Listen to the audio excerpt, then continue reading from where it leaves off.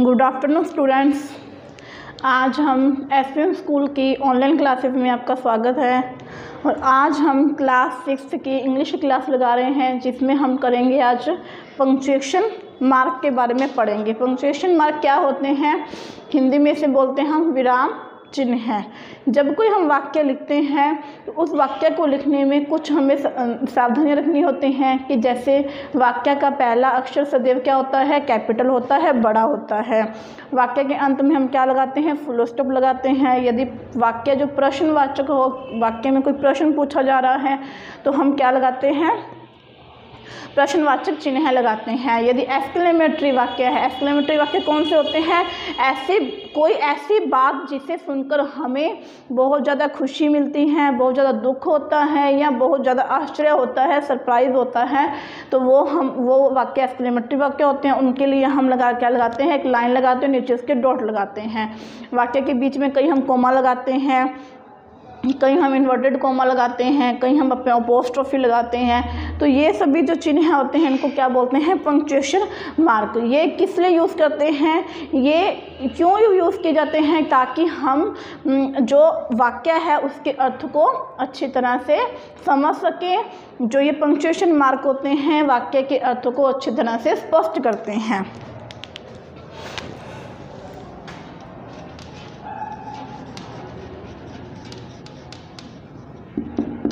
Definition एक प्रकार से कि जो पंक्चुएशन मार्क होते हैं,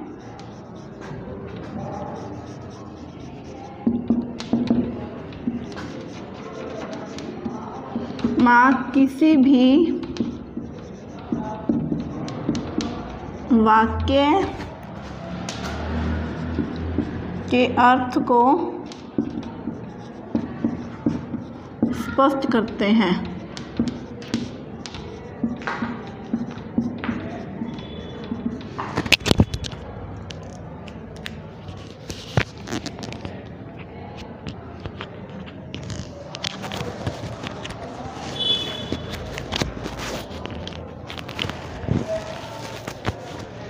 वाक्य का सपोज़ करते हैं full stop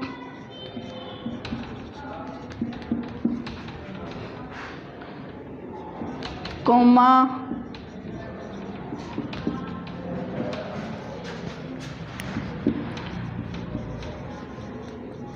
inverted comma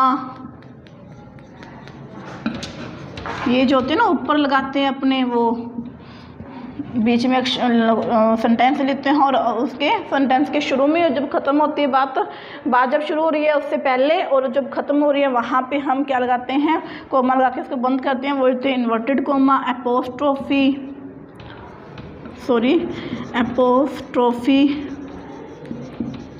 apostrophe होता है ना कोमा लगा के फिर ऐसे लिखते हैं। ये वाला और question mark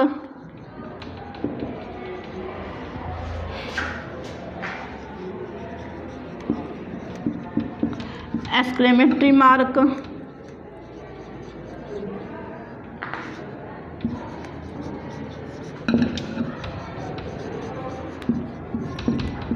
etcetera ये सभी क्या होते हैं हमारे पंक्चुएशन मार्क्स होते हैं। अब हम इसके रूल्स पढ़ते हैं मतलब कि हम कहाँ पे हमें फुल स्टॉप का यूज़ करना है, कहाँ पे हमने कोमा का यूज़ करना है, कहाँ पे इन्वर्टेड कोमा का, कहाँ और पोस्ट अपोस्ट्रोफी क्वेश्चन मार्क इनका यूज़ कहाँ कहाँ पे करते हैं, ठीक है?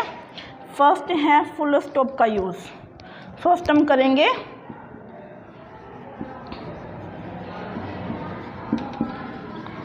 फुल स्टॉप का यूज़ ठीक है? फुल स्टॉप का यूज़ पढ़ेंगे। फुल स्टॉप का योग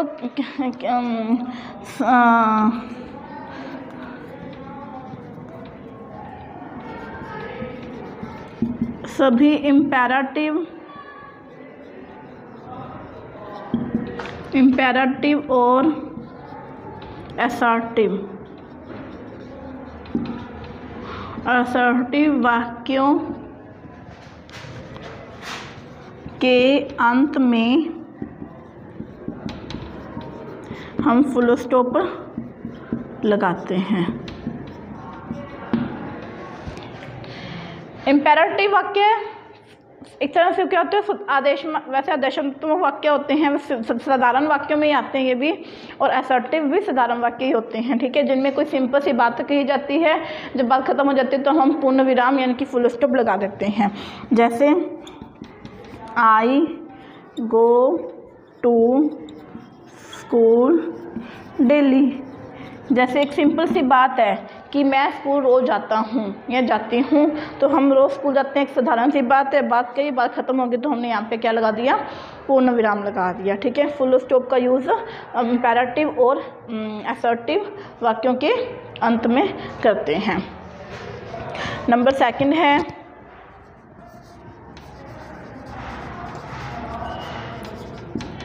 कोमा का यूज़। कोमा ऐसे होती हैं, ठीक है? इसका यूज़ क्या कर, कैसे कर, कब करते हैं? जो भी पार्ट ऑफ़ स्पीच के वाक्यों को कथनों को, वाक्यों को अलग अलग यानी कि जब हम मतलब सेंटेंस में हमने एक या दो या दो से अधिक बात बोली है, ठीक है? तो उन बात उनको अलग अलग करने के लिए हम क्या अलग यूज़ करते हैं कोमा के यूज़ करते हैं। मैं एग्जांपल करवाऊँगी, फिर उससे आपको समझ में आएगा कि पा, इसका होता है कि पार्ट ऑफ़ स्पीच के वाक्यों को अलग अलग करने के लिए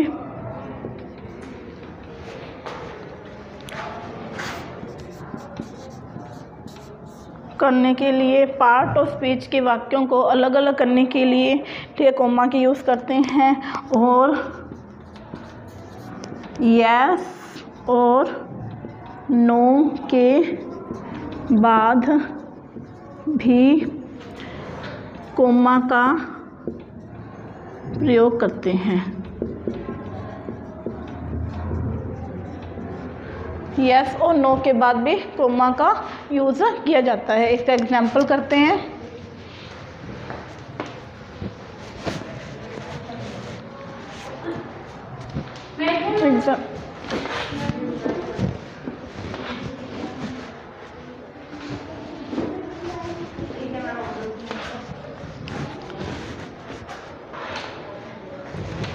एग्ज़ाम्पल करते हैं जैसे Geeta bought, a pen pen a pencil and a scale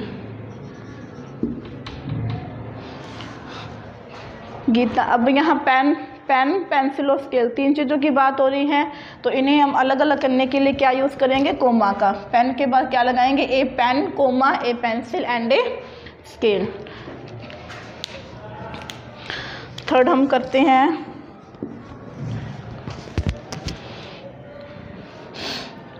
question mark का।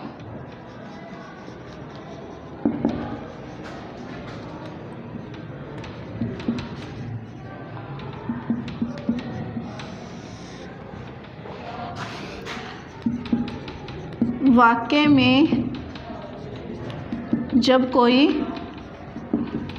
प्रश्न पूछा जाए तो वहाँ हम क्वेश्चन मार्क का यूज़ करते हैं। जैसे एग्ज़ाम्पल है where do you live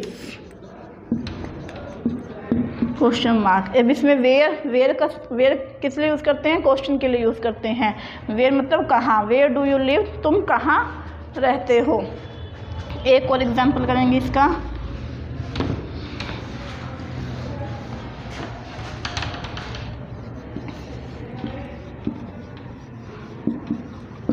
what is your name तो इसमें भी क्वेश्चन पूछा जा रहा है कि तुम्हारा वट वट वट को भी क्वेश्चन के लिए यूज़ करते हैं तो एंड में क्या लगाएँगे? Question mark